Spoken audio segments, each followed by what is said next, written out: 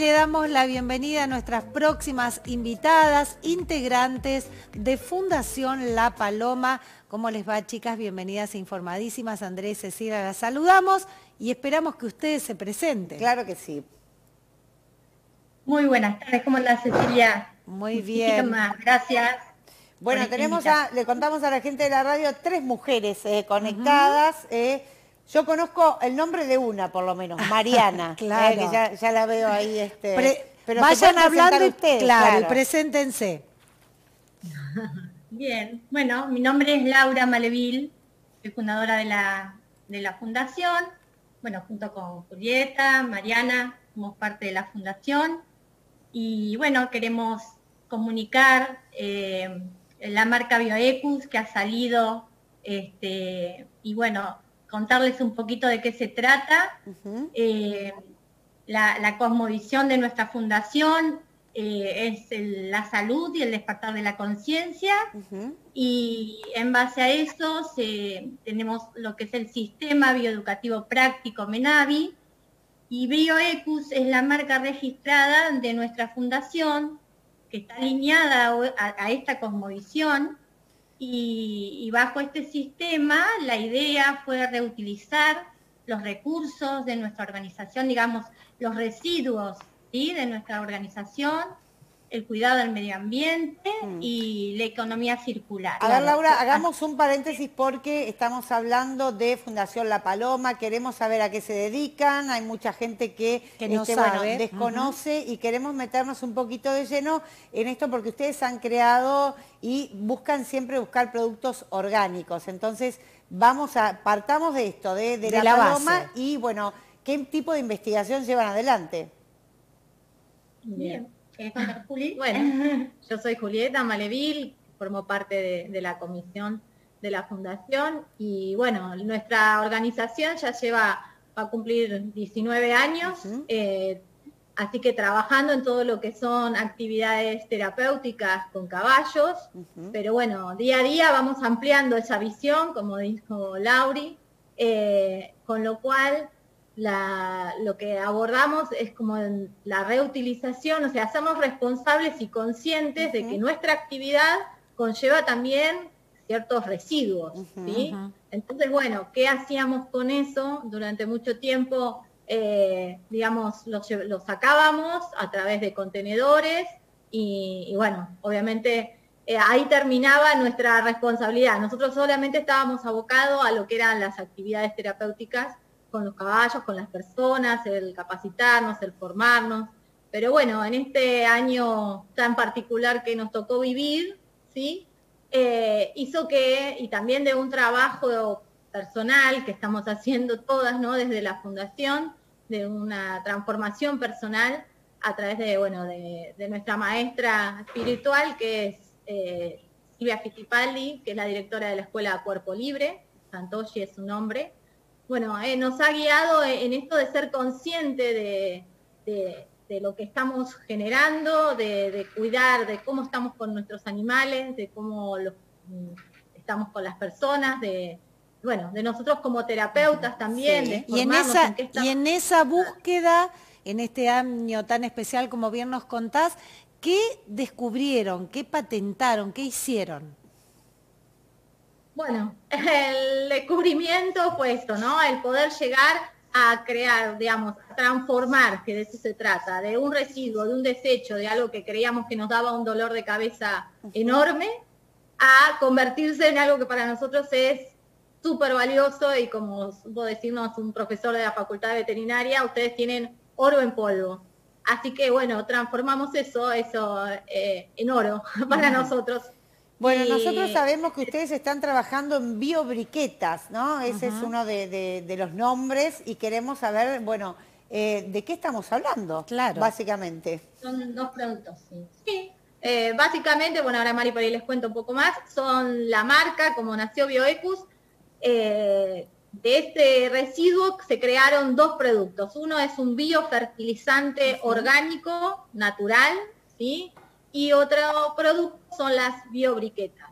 100% ecológica. Sí, es una aclaración. Así que bueno, ¿querés contar un poco, Mariana, las características? A ver qué A son ver, las Mariana, que es eh, la, la veterinaria del equipo, que nos cuente de qué se trata. Sí. Bueno, acá lo, lo- lo- lo importante e interesante de, de destacar, digamos, esto de 100% ecológico, es que desde el producto, digamos, la materia prima, que es el estiércol de nuestros caballos, que no es cualquier estiércol, lo que se hace es un proceso también natural, donde no hay ni agregados ni aditivos, que es a través de un compostaje y desde esa, desde esa, digamos, primer proceso se obtienen estos dos productos. Donde no hay, digamos, está solo la naturaleza y la mano del hombre es en base a la recolección, en caso de las biobriquetas, dentro de un proceso de compostaje donde lleva todo lo que es un cocinado o cocción, natural. claro, y natural, no hay cocción, digamos, no hay nada externo, ni maquinarias, ni químicos, y ese producto es la concepción de algo que viene con toda una coherencia. Y en lo que es el biofertilizante, también 100% ecológico, donde lleva un proceso un poco más largo. A ver, antes de pasar al, al fertilizante, no me quedó claro para qué sirve la biobriqueta. Ah, bien, bien.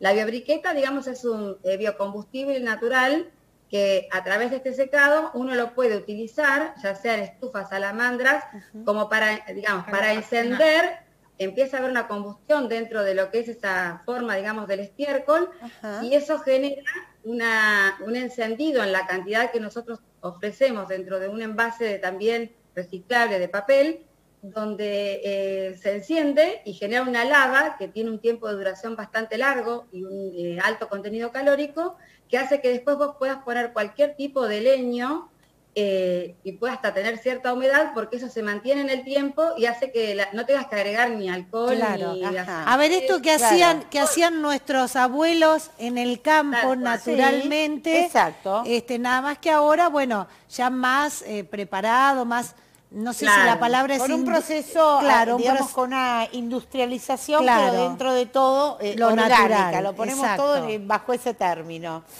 Claro, la diferencia es que tiene un proceso de compostaje. Eso hace que Claro. no es que nosotros agarramos el estiércol, se seca como era antiguamente que lo hacían nuestros abuelos Sí. y lo ponían en estufa, sino que esto que nosotros llamamos compostaje es que actúan, se, se hacen unas pilas de un determinado, eso fue un trabajo de investigación que hicimos con la Claro. gente de la facultad también, eh, para que había- eh, se pudiera hacer esa pila y esa eh, col- recolección y colocarla de manera adecuada, controlando temperatura, eh, controlando cuestiones de humedad. Eso hace que esa pila llegue a una temperatura provocado por una fermentación de microorganismos, ¿sí? aeróbica, y eso hace que todo se cocine, eso por eso le decimos va. se cocine. Entonces, Claro. lo que hace, estos productos son libres de cualquier patógeno, ¿sí? A esa temperatura cualquier patógeno se elimina, que no es lo Ahora, mismo que tomar el de Claro, forma natural. esto ya está, estamos, bueno, están utilizando este algo que, bueno, que los caballos, como ese su excremento, esa suciedad que queda, que no saben qué hacer, en algo este, realmente reciclable, que es fantástico. Ustedes ya lo tienen a la venta, ya lo patentaron, cuéntenos toda esa parte.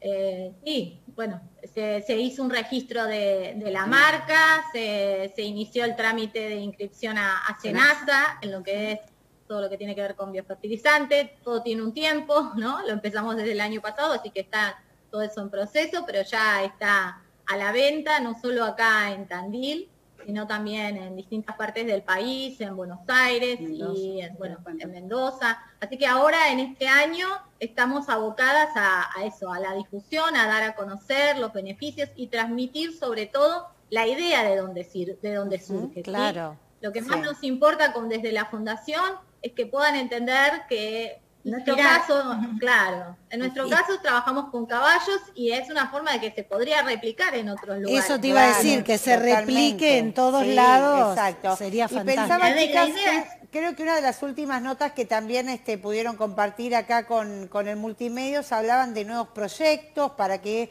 podamos aprender también a cultivar hongos. Bueno, ¿en, en qué, qué otras eh, aristas se están analizando? Y la, la realidad es que esto ha hecho que uno eh, empiece a crear y bueno, Sí, y la idea, a como decíamos, es diversificarse, claro. Claro, y, y inspirar también a que otros también lo puedan hacer, ¿sí?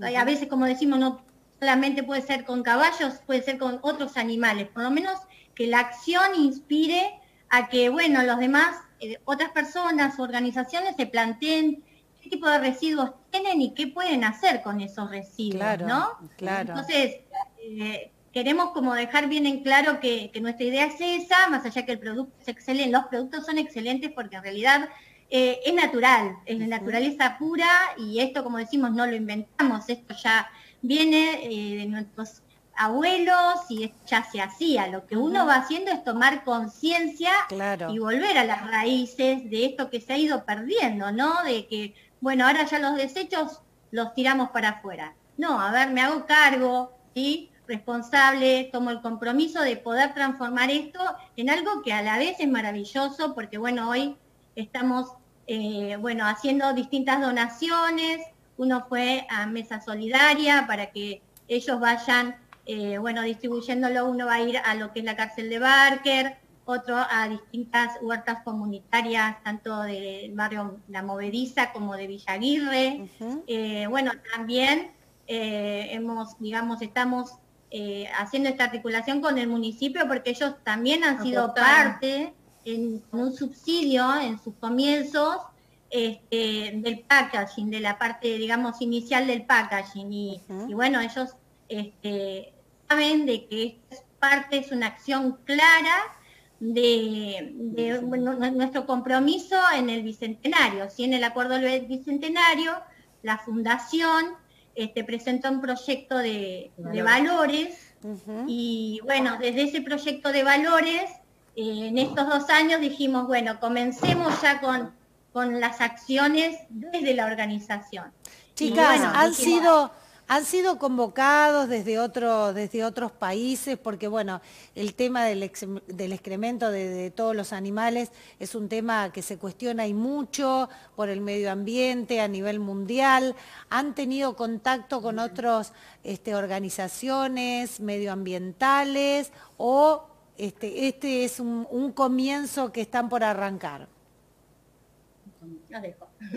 Eh, eh, básicamente lo que hicimos sí fue eh, ir hablando con distintos, más, son organizaciones, sí, ahora no recuerdo el nombre, que tratan en todo lo que es ubicar ciertos productos en el exterior, ¿sí?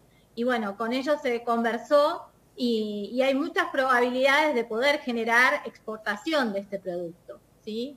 Eh, que la verdad, porque las cualidades, bueno, por ahí no, no es para ser tan específico, pero tiene como biofertilizante, tiene cualidades que la verdad, bueno, lo han mostrado los análisis que hacemos y los ensayos que estamos haciendo, que, tiene características muy buenas. Claro, y aparte de tener la habilitación de Senasa que nos contaban, bueno, ahí ya se abre, ¿no? Este, un, mercado interesante. La idea es poder aspirar en algún momento a poder declararlo orgánico. Hoy en Argentina eso lleva un tiempo bastante extenso, ¿sí? Administrativo, digamos.